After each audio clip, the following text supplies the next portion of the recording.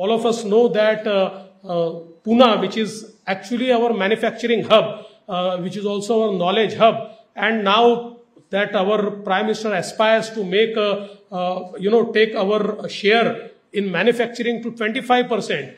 And uh, with the geopolitical situation where uh, people are now talking about China plus one policy, I think that plus one is going to come to India and that in, from in India, that is going to come to the state of Maharashtra. So we are absolutely ready to welcome, uh, you know, all of you and to those who really want to aspire, who, who aspire and really want to come to the, to the state. And our MIDC uh, CEO has made you a presentation, has given you presentation. And MIDC is our one-stop shop, uh, whereby, uh, you know, all uh, all the facilities for the industries are offered. MIDC has largest land bank.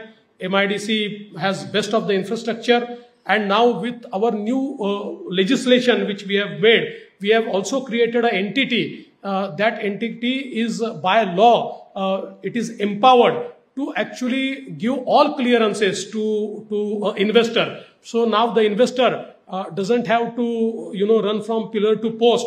And many times uh, uh, we say that there is a single window system, but uh, it occurs that uh, passing that single window, there are many doors you have to knock and then several doors when they open, there are several windows.